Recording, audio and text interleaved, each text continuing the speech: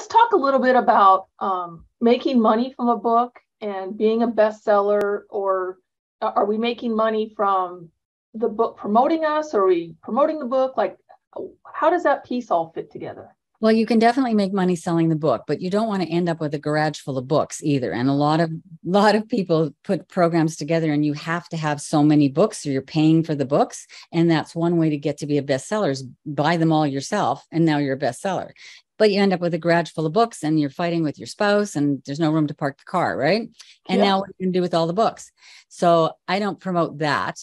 I don't have a problem with it, but I think there's a better way. So I teach people how to write inside the book whatever it is that their programs are about.